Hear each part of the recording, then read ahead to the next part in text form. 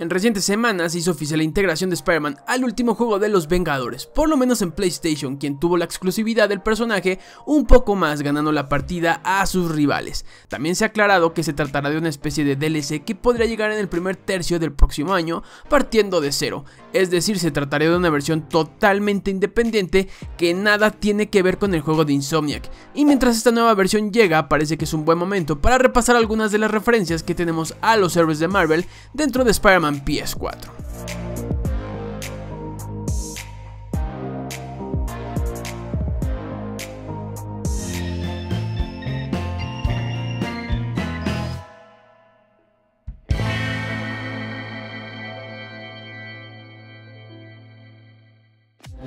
La escena de apertura del juego es maravillosa, adentrándonos a la vida diaria de Peter Parker. Como es una costumbre, el nacido en Queens suele ser un chico desordenado, teniendo infinidad de guiños a la historia del personaje en los cómics.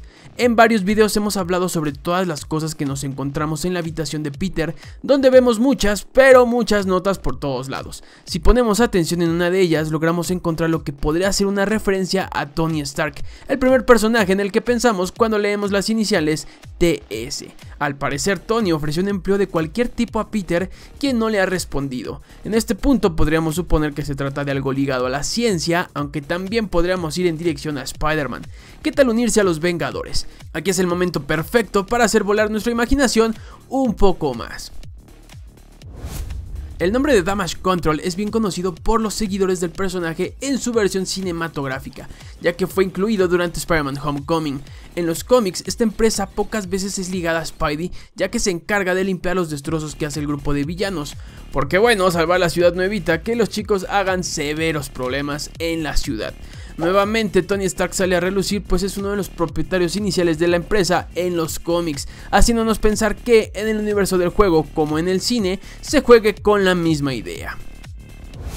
Una de las principales cosas que nos hizo pensar en el universo de Insomniac creado para Spider-Man y el nuevo desarrollado para el juego de los Vengadores fue la empresa AIM, misma que tiene apenas algunas menciones y vistazos en Spider-Man PS4, pero parece ser el motor del juego de los héroes más poderosos del planeta.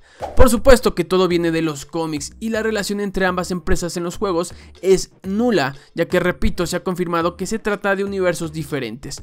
No obstante, deja de ser una linda referencia al universo de Marvel Comics en el juego del trepamuros, una que no todo el mundo logró identificar tan rápidamente. La ciudad creada para el juego es maravillosa teniendo cientos de detalles que hacen que la experiencia sea mucho más grata para los jugadores que pasamos horas explorándola.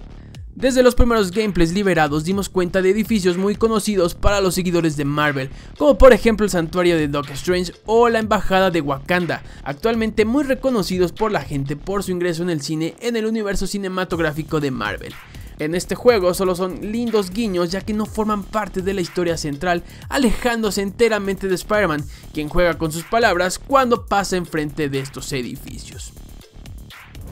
Por supuesto que no hay mayor referencia que la Torre Stark, inclusive sin ser un seguidor de los cómics de Marvel, es obvio que hoy en día todo el mundo le conoce, no siendo necesario estar empapado de información para reconocerle. La torre es uno de los edificios más visitados por los jugadores que suelen llegar hasta lo más alto para después saltar en un intento por capturar la mejor fotografía. Es un hecho que el grupo de héroes existe en este universo, aunque no forzosamente quiere decir que les veremos en un futuro, enfocándose exclusivamente en Spider-Man y sus personajes de apoyo.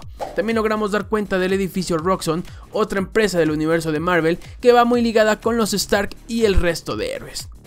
No tenemos ni la menor idea si es que en algún futuro veremos a otro héroe de la baraja principal de la editorial en este universo, pero es un hecho que todas las referencias a ellos en el juego son bien recibidas por nosotros. Dime qué opinas sobre todo esto, qué otro guiño agregarías al listado, cuál de todos estos es tu favorito, házmelo saber todo en los comentarios, no olvides suscribirte al canal para saber más cosas sobre Spider-Man y sus juegos, seguirme en mis redes sociales y compartir este video con todos tus amigos. Nos vemos, hasta la próxima.